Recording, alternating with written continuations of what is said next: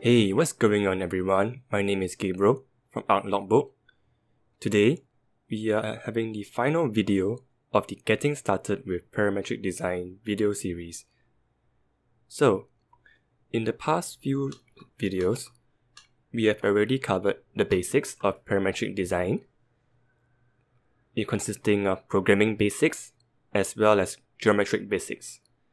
In video 2, we covered Rhino and Grasshopper basics with uh, emphasis of the interface, components, and workflow. And today, we will be covering a project of mine and my dear friend, and we will go through the thought process, the architectural concepts, the parametric design concept, as well as the Grasshopper script analysis. Alright, let's head to the project. Right now, I would like to show you a presentation that me and my friend has done.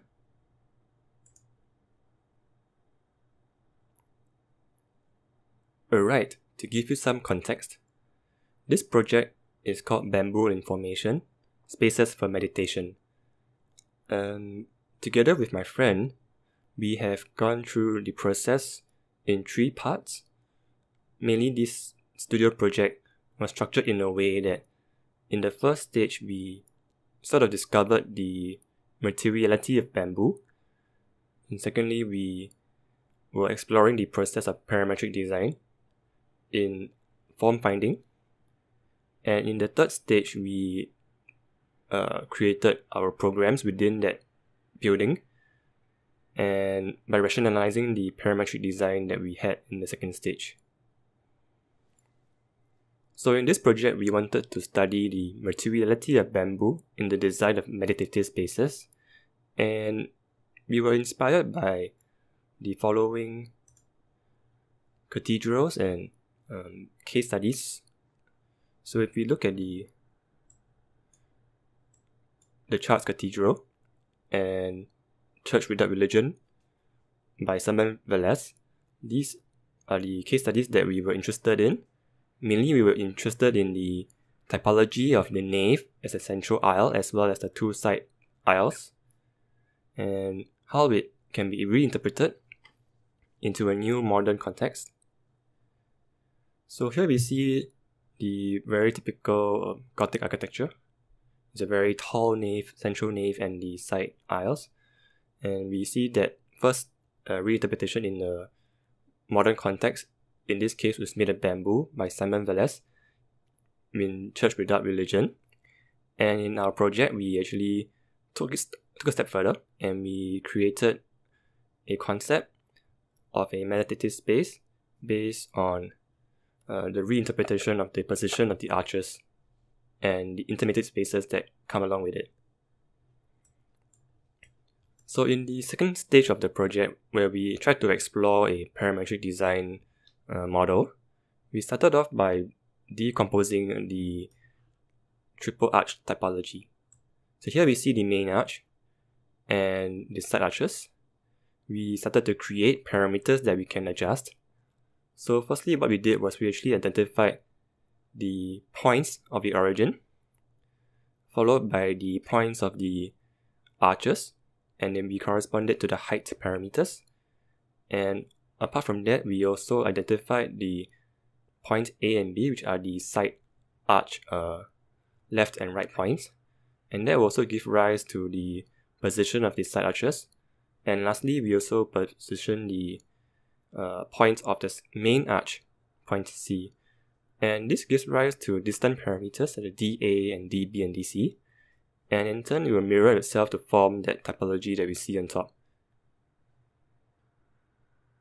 So once we identified all of these parameters, we started to formulate graphs that can actually correspond to the values that would link to the height and the distance parameters.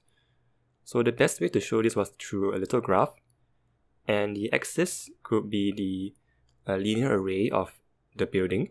So we imagine it to be a really long uh, building, quite similar to what we see in a cathedral and even in church for without religion. Uh, usually we have a very long plan and we have a focal point right at the end. When we enter the building from the back, we usually see a long space, um, both the central nave as well as the side aisles, and we walk towards the centrality of the space, which is the front, and that is the focal point. And we in the church we see the crucifix, and we, and here we see a shrine, uh, that we propose. They'll be talked upon later. And so we created graphs on the section. That means along the a certain axis along the building, we pre- we will actually kind of create certain curves that corresponds to the values based on the height of the building along a certain direction. And on plan, we also indicated the distance parameters based on how far away they are. That means the positive in this case the positive y direction from origin to A and also from A from O to C and from O to B that will correspond to DA, DB and DC and in turn will adjust the positions of these side arches. We next came up with a certain system matrix. So but this is actually one of the first ways to kind of predict whether your parametric model will work or not is to actually manually input parameters and kind of draw out the the results that come out of it. So by adjusting certain parameters manually, we can actually predict how in geometric forms they will actually differ across a certain uh, axis. So in this case, we identified uh, the changing in the width of DB and the height of H2. That means DB is actually the width, the distance from the origin all the way to the side arch, and the height of the main arch. And that will actually give rise to certain typologies that maybe at certain scenarios the middle arch is smaller, and as you go down, the middle arch gets bigger and wider. And if you go to the right, we see that the position of the side arches actually moves towards the center and then it eventually uh, subsumes the central arch. So that actually gives rise to a very interesting form, a very interesting moment. All of these actually uh, were picked eventually as a section moment along the building. So it kind of gives rise to a variety of moments, uh, like very interesting spaces, and how the central arch and the side arch actually uh, intertwine and create different new experiences as one goes along the the building. So here we see certain uh, form finding uh, scenarios. We give different input curves that corresponds to the different parameters above. And these are the, the plan and the section curves. And also plots against the topography of the, the building.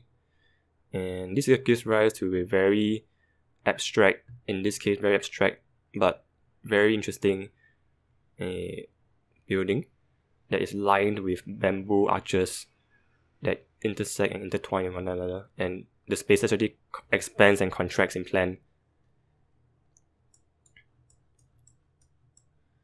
And so we actually envisioned some scenarios that could be part of this building, And as we wanted to explore the various aspects of meditative spaces. We wanted to have the visitors come from a, a reservoir. I mean, this would be uh, explain in detail because we will actually go through the site and having different typologies. So in this case, the uh, central arch is much taller and the side arches is actually smaller. And this actually gives rise to a certain uh, entrance portal. And the next scenario we had was actually a smaller arch and the bigger arch on the right side. We wanted to not just be limited by the the the arch lines as as solid, but I wanted it to be a guiding lines. So what we did actually to create a, a glass house of sorts, and maybe a, a, a arbitrary and an ambiguous open space based on the arch uh, length. And lastly, we also had a certain typography that we had the central arch being sub, uh, encompassing the two side arches. This gives rise to a very huge space and and maybe it's flanked by two subspaces. It could be for a lecture theatre or maybe a outdoor cafe. So yeah, there were many many other options we had. and this will in one way or another uh, part of the project eventually. So the site was in in China, mostly in Hangzhou. There is a re- reservoir here. And what we did was we actually envisioned this whole mountainous area to be a visitor experience. Over here is the main road where we uh the access and they climb up a certain steps and you can either choose to take a water taxi or to go to, towards along the reservoir or to go around and walk a very nice scenic route to enter by the side. And we actually broke up the different pavilions. So they have different sizes and different uh, uh, overall form.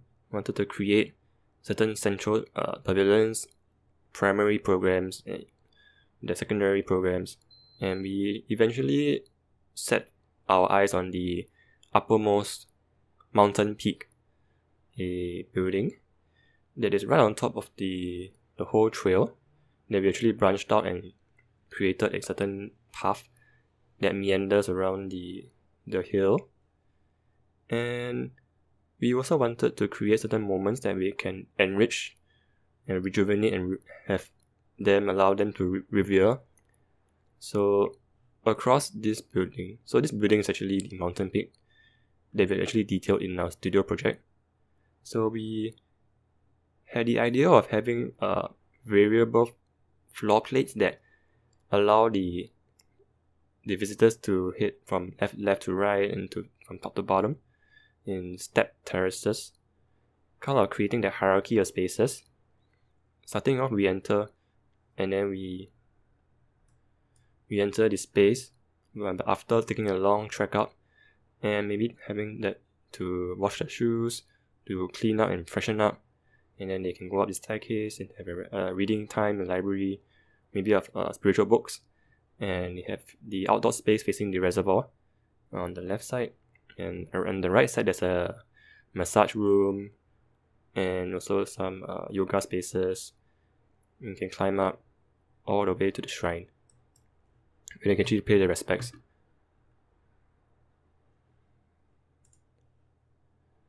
And yeah these are the the plans and sections that we actually created for the project uh, I won't go too much into it but the possibilities of actualizing this is uh, pretty much possible due to parametric design.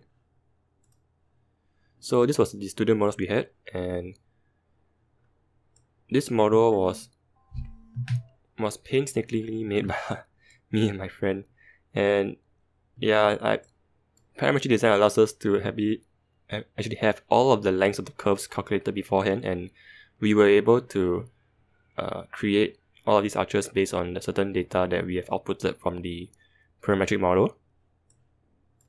Yeah, more pictures. So we wanted to create the different section models to show the different spaces and the different typologies. And even the scale has increased over the, the axis. And in plan, we wanted to show the different uh, breakaways in the floor plates to show the different uh, breakout zones. Okay, so I shall not bore you any further we have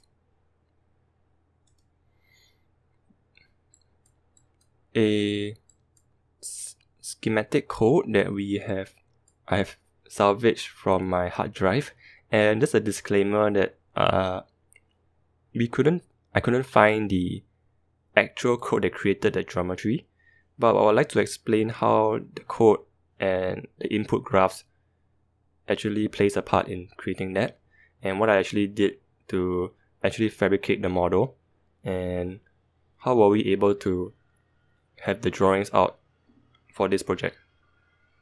So let me start by going into the code. So what we did was to break it down very easily, we have do you recall the previous video where we had a graph? And we also played with the the parameters in terms of adjusting the curve points to create new curves. And that will be corresponding to different uh, y, y values. And that will be translated into a radius of the building. So in this case, it is quite the same idea having your graph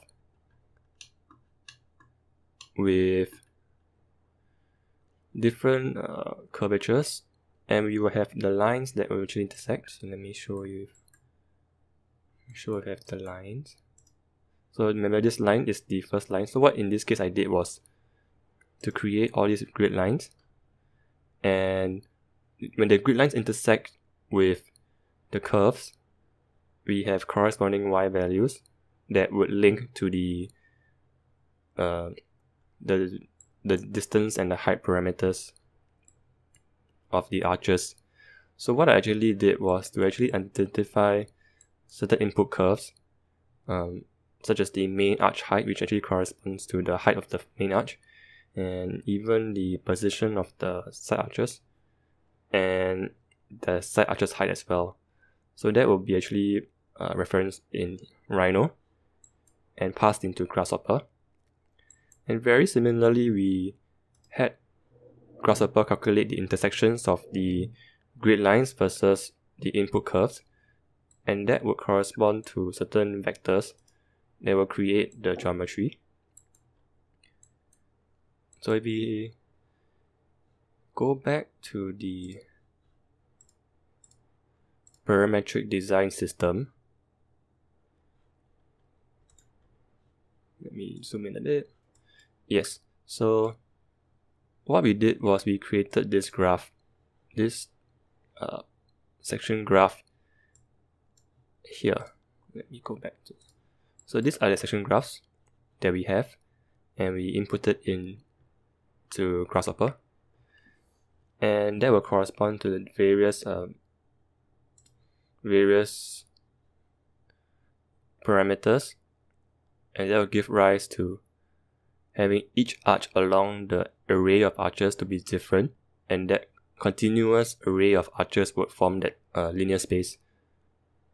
And the position of the arches can will actually move based on the distance as well. So what we get is actually a very long linear but also very uh, translational movement of the arches. Translational as well as scaling as well as the height uh, adjustments. So that will give rise to a very sinuous uh, structure. So going back to the the code, we have got all of the the data that corresponds to the parameters but for each arch along the linear axis. And what we did was to actually map it onto the 3D let's see uh,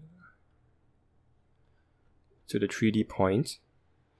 so let me show you an example. So so this curve is this curve is the curve that we use for the topographic curve. I, I call it the 3D topo curve. And we actually passed it into divide curve component that actually creates all of the different points along the, the path. And with each point, let's say we have specified 240 sections, that means there's 240 points along the curve. And with each point, each point will correspond to the origin of the whole section typography source now. Mm, um, just to review, this O origin, as I'm circling now, actually corresponds to all of the points that is divided. In this case, 240 points along the curve. And not only that, we actually wanted to extract the z height values. And so what we did, we used the deconstruct component and we got the z coordinates.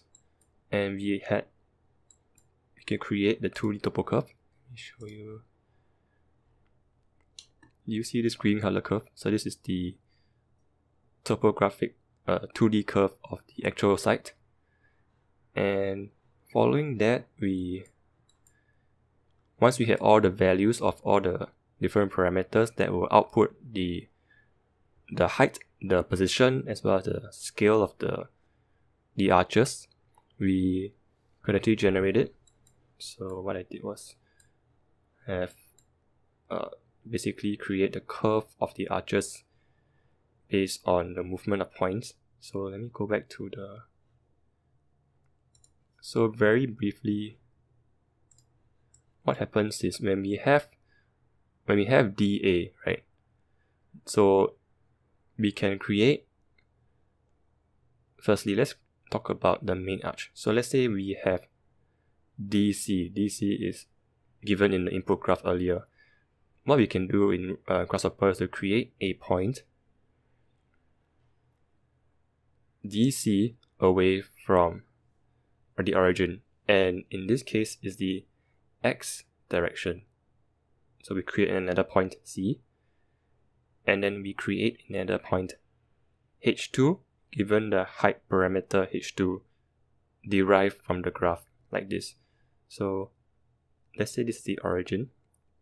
This is actually the topo curve, the 2D topo curve that we see just now. That will actually be the baseline uh, of the, height and the difference will be the H2 that we see here. And H1 will correspond to the side arch. So to create these arches in Grasshopper slash Rhino, we created this point first. Always remember to create points first that will generate the line instead of creating, creating the lines and then we generate the points instead. So that we can actually use that for other purposes. And once you create this C point based on the distance DC units towards the X positive X direction, we create the H2 point, which is H2 units in the Y direction. So this is one of many different uh, arrays, I mean, part of the array. And when we duplicate this whole section across a certain path, like this, along this path, we will have a sinuous form that will actually blend because we have a continuous graph. And the values will actually uh, connect one another. They will create the sequence of spaces. So after we did that we got all the values and we created the arch. So when we move, when we create these points, just another point we create. Points using a vector, right? So when we talk about when I talk about creating a point certain units away in the x direction, this means we use the move component and we place the uh, origin point and we move it by the y vector that is created from the values that we have derived from the input curves. And that will be able to create lines and we can create the arch. So, by the way, if you press this preview geometry, you can click to see uh, the preview geometry of the component that you selected. So what I would like to select is so all this is a bit technical. Um, basically what we did was let's go to perspective. Hmm.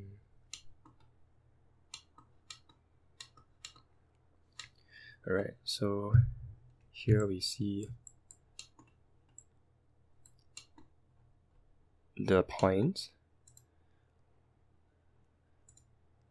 we have I call it this as the big arch height point that means that is corresponding to H2 and these are H1 a lot of uh, creation of points that was eventually create the arch is made first and then after that we use the interpolate curves so what we did was to create three points. So first point, second point, third point, and we are always working with list of points that would create a curve. So let me highlight all these three and give you a little orbit. So here we see first point, second point, third point. So these three points were created first and we use the interpolate component to create a curve. And after that, there were some uh, tweakings to be made because we wanted to make the arch an arch. Because now we see it's like a catenary curve. And we use we use the list item component. That means we selected certain points along the the catenary curve that we have just created just now. And we use the first, I mean, I say first by using the zero index, third index, fifth index. I mean zero, third, fifth, seven, and tenth to create the NURBS curve. So this curve is a little bit uh, pointy because we had selected just a few points along the catenary curve and that gives rise to the NURBS curve that is more like an arch. Okay. After that we join them and we sorry about the mess but usually this is how we work in Grasshopper and I mean some of us do take time to organize everything so you duplicate the code what I just showed you three times and we have all of the curves so we have the central arch the side arch uh, in this case is they look quite similar, but they are not. And if you realize, they are actually following the topography of the space. This is done because the origin is changing along the array. And yeah. So after that, what we needed to do was to to extract the 3D topo points. So now we're basically taking this whole system and implanting that. Zoom checking the window. We were now looking at superimposing and translating all of those arches to this 3D topo curve and yeah basically making it uh, site specific so given this input of the 3D topo curve we have actually uh, sort of corresponded the number of arches along this to be equal to the number of points along the, the curve and our intention is to actually uh, move and orient all of these arches just now to this 3D topo surface. So what we did was to extract the 3D topo point, which is actually to divide the curve and to get the list of points. And after that, we we created the geometry by uh, orienting them. So we took the orient component is very useful in this case because we use the arch uh, per at every different interval and we took the source point which is the origin of those points uh, just now and we translate it to these points so from left to right versus from left to right here so that means we can get the arches. So now we see it's a bit too big, so what we did was actually too big as well as they're not in the right direction. So we used the rotate tool to rotate it back. What we did was to actually take the first point. So we have the 3D topo points. And if we want to align the the arches, we have to kind of specify the vector that we would like the arches to face. So what we did was to actually take the, the same list of topo points, we kind of shifted the list. That means what this does is we had the list of points and we move the index of every point by one, right? And that we were able to take the first point and the second point of every single that means for every point it calculates the vector to the next point. So what this does actually is to create arches that will face and follow the direction of the curve. So that gives rise to uh, vectors for each arch. Here is 241, 40 actually. And we pass that into the orient. I'm, I'm sorry, I passed it to the rotate. And yeah, that gives rise to the correct direction. And after that, we scaled it to fit the topography. Note that, I mean, as I mentioned earlier, this is not the final form. And what I did was actually to create more and fine tune the input curves that will give rise to all the forms you see here. And after that, what we did was to create our you will see this very long spine. This actually creates creates the spine. So what how we did that was actually to to extract the top points again. Remember the top points of the arch. And then we interpolate those points instead to create the top. These are the top of the arches. Me if you can see this it is actually extracting all of the top points of the arches and actually joining them to create some sort of a main structure that uh, links all the arches together. Again, we are working with list of points again, so this is very highly important that we are able to be comfortable with working with points. List of points, list of lines, mostly list. And after that, we uh, make sure that we can move it if you want to you can divide the curve again let me see. Yeah so we have all the origins in place. And this gives rise to our arches so what we can do with these lines actually to output them. And if you want you can continue to project them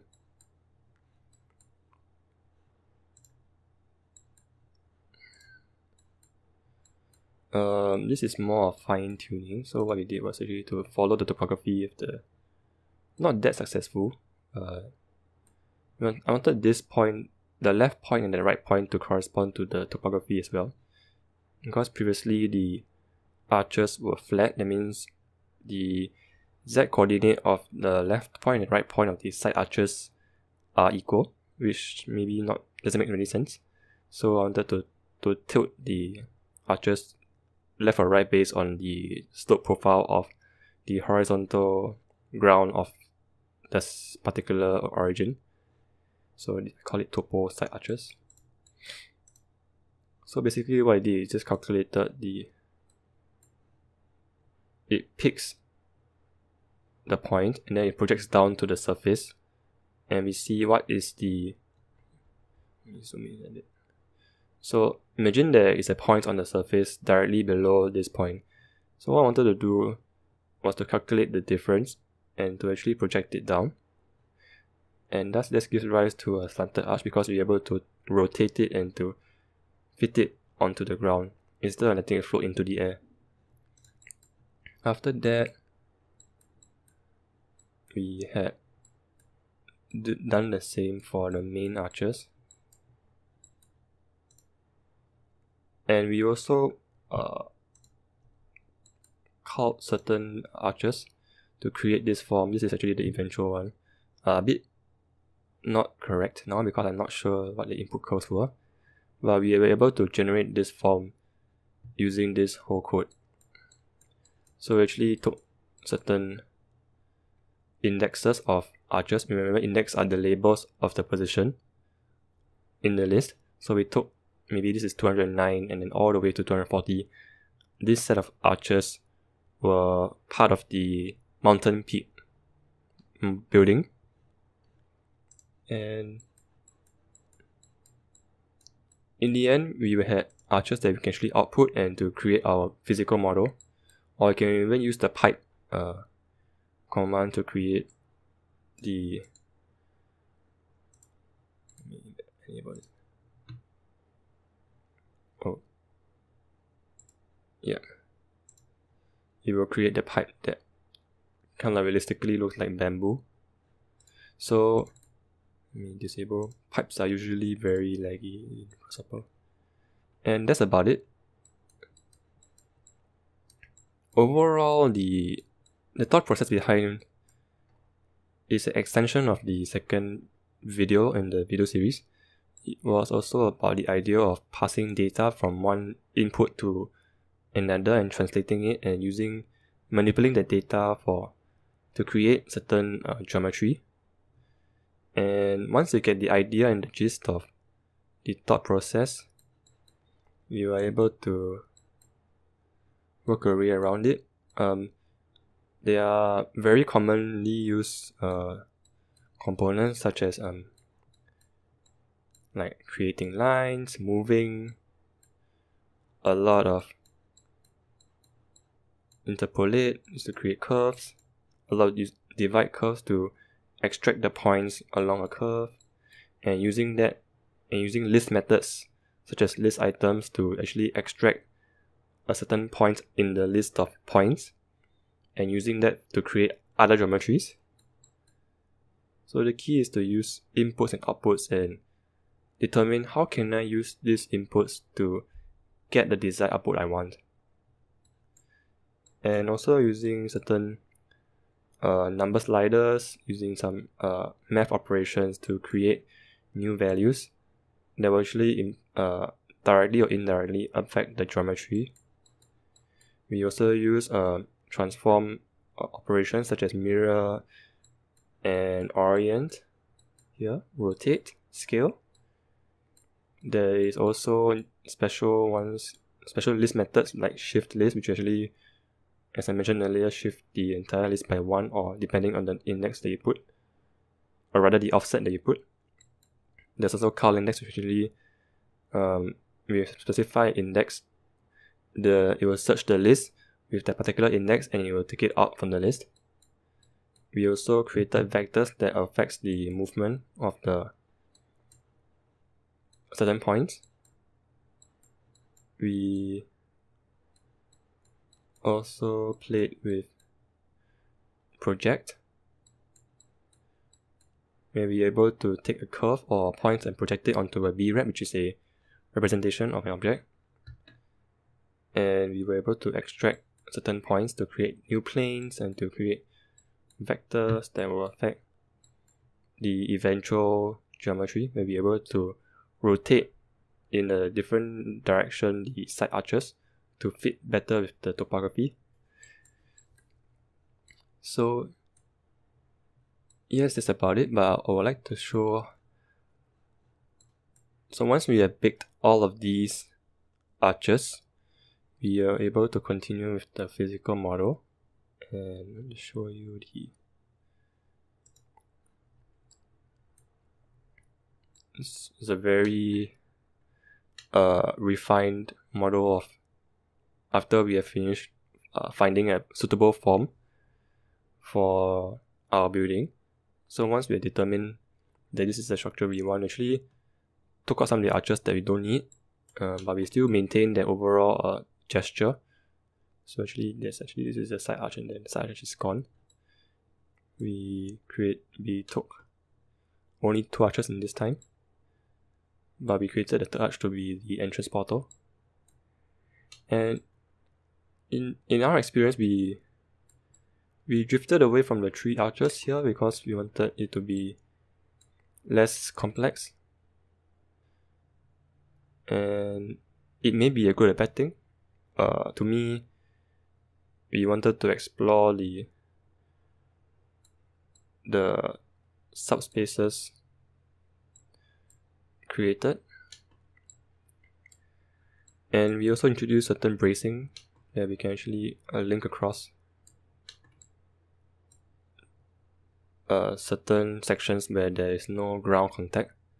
So all of these were explorations, and uh, I mean it's not totally foolproof, but we wanted to to see how can we incorporate program into a initially uh, abstract structure.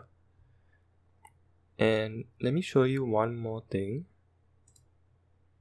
So this is how we produced the model. We actually had a, all the cardboard pieces to create the topography and we had the curves. So all of these curves had uh, lengths that you can actually output in Excel or or to uh, create 2D drawings and then we superimpose them and we can trace it out. I mean, not trace it out, we can actually print it out and we can actually bend the, the arches according to the, the template. Yeah, so just to give you certain ideas of fabrication. So parametric design also gives you the flexibility to create uh, physical models or even one-to-one models. So given all these arches, we were able to determine the length and the, even the exact curve. So if we project all this in the, the top plane, we are able to to create that in 3D space. So yes, hope you uh, learned something from this video. And if you'd like to know more, please feel free to talk to me and DM me on Instagram. I would love to hear what you have uh, learned and enjoyed from this video series. I will take any feedback. Um, I am still learning. I'm still a very new to providing video tutorials, and I'm striving to do better. So any comments is welcome. So for now, I hope you have really learned a lot and till next time, I will see you soon. And always don't forget to follow Arch Logbook, A R C H L O G B O O K, on Instagram. Till next time, see you.